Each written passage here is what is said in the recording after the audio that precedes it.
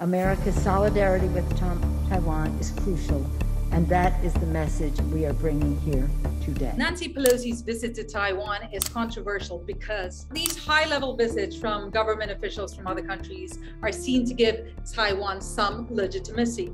China considers Taiwan as part of its own territory, and so it feels that these visits will allow Taiwan to establish itself as separate from China. And China, from the very start, had said that they did not want this visit to happen. They did not want Nancy Pelosi on Taiwan soil.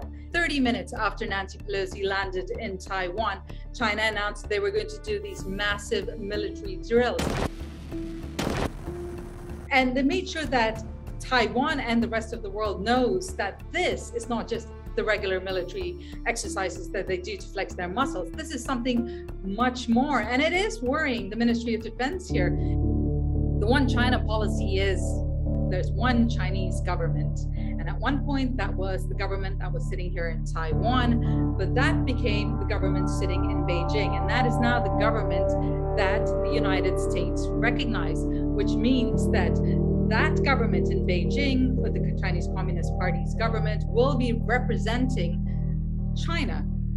And in this case, this China includes even this part of the world, Taiwan, which is why a lot of countries have to choose or are forced to choose between diplomatic relations with Beijing or diplomatic relations with Taipei. The US has a, an act, uh, a law which requires it by law to help Taiwan defend itself and protect itself should it be invaded. So it's that fine line that the US is balancing. What will happen to the US China relations from here? Yes, you know, most likely a lot of heated words, a lot of rhetoric. The US will condemn China for taking that kind of military action, for intimidating Taiwan.